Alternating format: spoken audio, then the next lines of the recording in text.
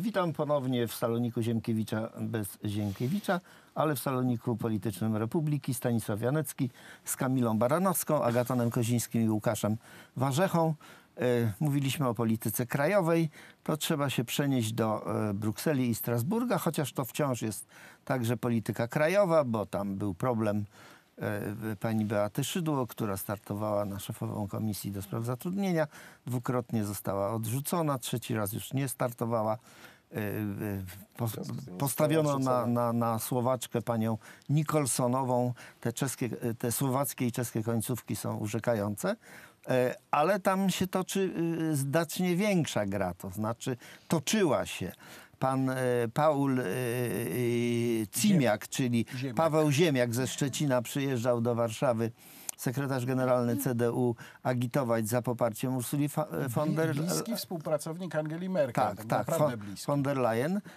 To też dobrze świadczy o, o, o, o imigrancie, który tak daleko zaszedł jako 30-parolatek w strukturach y, CDU. No, Pani- się, do niego są przymiarki, że to rzeczywiście on może najwyższe eszelony i to chyba przymiarki poważniejsze niż w przypadku Roberta Sekretarz Biedronia. generalny to jest naprawdę ważne No nie, ale jeszcze jest kilka nad nim i on tam jest celowany w te stanowiska, których kilka małych zostało, ale Mhm. przymierzone jest. No i by- były telefony pani e, kanclerz Merkel do Mateusza Morawieckiego, żeby poprzeć e, e, e, panią Ursulę e, von der Leyen.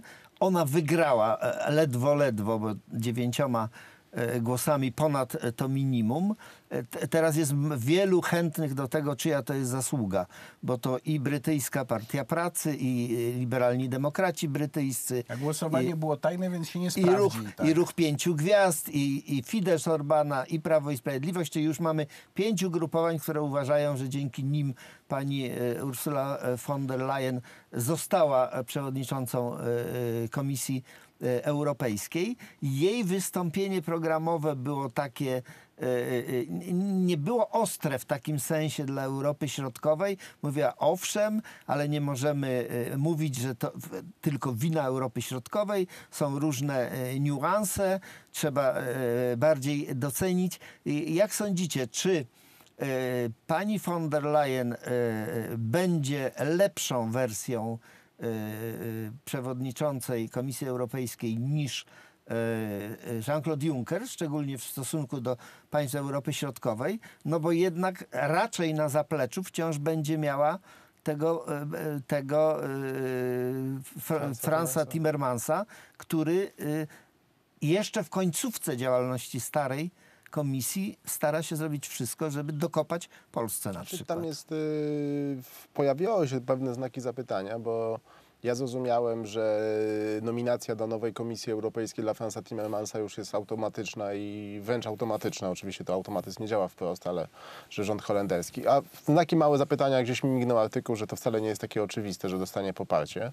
To W raz. sensie, że Mark Rutte tego nie wystawi? Tak, znaczy to wydaje mi się, że to jest tam 2% takiej sza- ryzyka dla niego, że tak nie będzie. Zakładam, że jednak będzie, będzie członkiem Komisji Europejskiej, zamienia jako przedstawiciel No Holandii. jednocześnie... Ale tutaj jest pytanie, jak się Przypominam, usta... że formalnie pierwszego przewodniczącego musi też zatwierdzić Parlament, Parlament. Europejski. Tak, natomiast jest coś jeszcze innego. Zasada w Komisji Europejskiej jest taka, że owszem, możesz zostać na drugą kadencję w Komisji Europejskiej, ale nigdy nie zachowujesz tej samej teki. No pytanie, jaką tekę miał Franz Timmermans, bo pierwszy wiceprzewodniczący, on de facto nie miał żadnej No teki. właśnie nie miał żadnej, Także właśnie problem. tutaj on może taki nie zmienić, bo jej nie ma. To jest takie jak minister bez, bez teki w polskim rządzie mniej więcej. Także... wieloznaczności ale równie traktatów dobrze, europejskich Tak, ale są... równie dobrze, ale, ale, ale, trzymając, ale trzymając się tej logiki. No i tu właśnie dochodzą właśnie o czym rozmawiał, e, o czym rozmawiał Jarosław Kaczyński z panem e, Ziemiakiem e, w Warszawie, bo jeżeli udało się wynegocjować, bo to jest jednak, e, to poparcie PiSu jest ważniejsze niż się spodziewaliśmy, bo to też właśnie dopiero znalazłem tę informację bardzo niedawno, na przykład bardzo ostro przeciwko Ursuli von der Leyen protestował Salvini. Liga nie poparła nie go. poparła. Tak, do tego stopnia nie poparła, że jak ruch pięciu gwiazd twardo, już się spekuluje o przedterminowych wyborach we Włoszech, bo napięcie wokół Ursuli von der Leyen między ruchem pięciu gwiazd a Ligą e, Północną jest tak silne, że być może nawet Salvini uzna, że przedterminowe wybory, bo ja jestem jestem tutaj wiodący i spycham dwóch, pięciu gwiazd na margines, no to No, jest gra wynik polityczna. europejski miał dużo lepszy od, No, od Zdecydowanie, od tak. No, ale to tam Włochy oczywiście nas nie tutaj tak o tyle nie interesują, ale to pokazuje, że rzeczywiście zasługi PiSu mogą być większe niż yy, zasługi mogą być większe niż, niż yy, początkowo to wyglądało i to było marginalizowane przez opozycję być może niesłusznie. Aczkolwiek ryzyka są dwa, bo oczywiście świat idealny jest taki, że z panem Ziemniakiem udało się wynegocjować, że popieramy jak skutecznie, jak widać, było 26 głosów polskich, a 9 wygrała, czyli te głosy były bardzo potrzebne. Popieramy w zamian za przerzucenie e, Franza Timmermansa powiedzmy na rolnictwo, czy na rozszerzenie, czy e, działalność humanitarną, czy tego typu prestiżową Komisję Europejską, no bo w komisji będzie, ale zajmie się takimi kwestiami, niech tą swoją niespożytą energię i charyzmę wykorzystuje w jeżdżeniu do obozów dla uchodźców w Jordanii na przykład, a my dostajemy tekę do spraw konkurencyjności albo przemysłu, albo inną ważną. No i to byłby oczywiście Albo świat idealny i to by świadczyło, że PiS jest y, absolutnie hegemonem europejskim, mistrzem rozgrywki i tak dalej.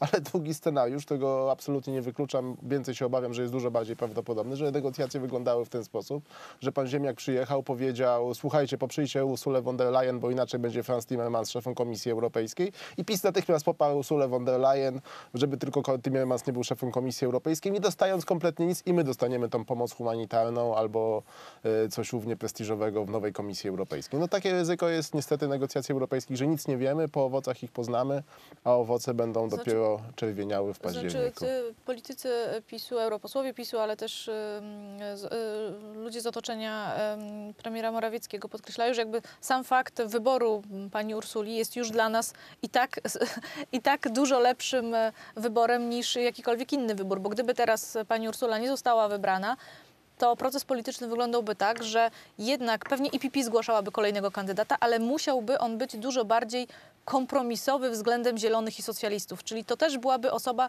jeszcze mniej z bajki, że tak powiem, Prawa i Sprawiedliwości niż, niż pani Ursula, która gdzieś tam wspólne wspólne wątki z PiSem, chociażby jeśli chodzi o politykę bezpieczeństwa, ma. Więc to jest jedna Formalnie sprawa. nowego kandydata zgłasza Rada Europejska. No formalnie, no ale niefor, no jakby nieformalnie wiadomo, że byłby to kandydat też, pa- tylko też pamiętaj, wysunięty przez IPP nie jako partię, która co do wygrywa. e, kandydata wiodącego między Radą Europejską a IPP. IPP miała swojego Manfreda Webera, więc To jakby to prawda. było za drugim razem, też nie ma pewności. Mało tego, ja jeszcze zwracam uwagę Nie, no była raczej- w drugim szeregu. na ten ciekawy aspekt, że nie ma pewności, no bo mieliśmy to tajne głosowanie, czy wszyscy posłowie IPP poparli Ursulę von der Leyen.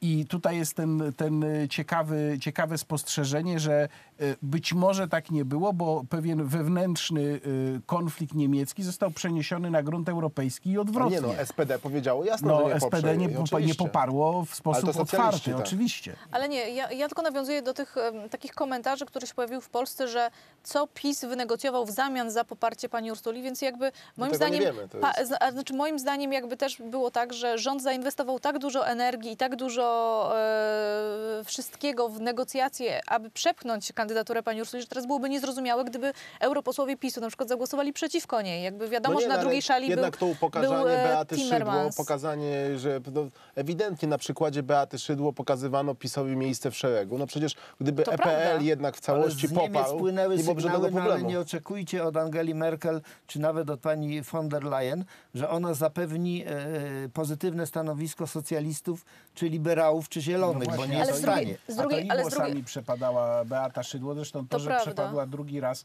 to jest akurat uważam wina e, nasza, a nie znaczy w tym sensie, że w ogóle wysuwanie jej drugi raz było jakimś kompletnym absurdem. No chyba, że ktoś ich pojęcie- oszukał Znaczy tam właśnie pojawiają się takie spekulacje, że by było, znaczyło, że są że byli strasznie że tak. było dogadane, że było dogadane i, i wyszło jak wyszło.